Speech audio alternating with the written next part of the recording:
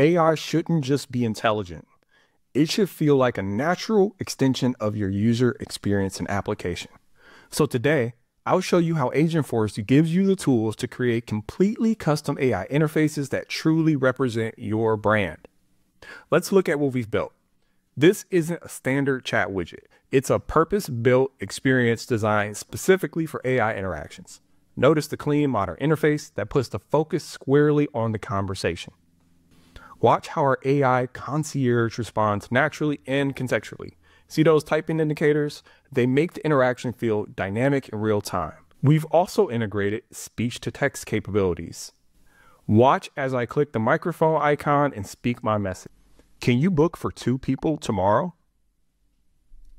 The AI transcribes my words in real time and responds just as naturally as if I typed it.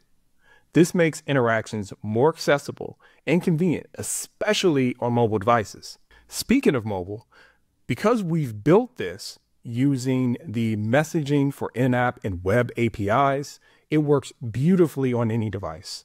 The speech recognition is particularly useful here, making it easy to chat while on the go. The implementation of this new custom client is pretty straightforward.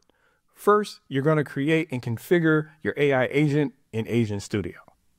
Next, you're going to set up routing configuration for the chat routing logic. Next, you're going to create a custom client.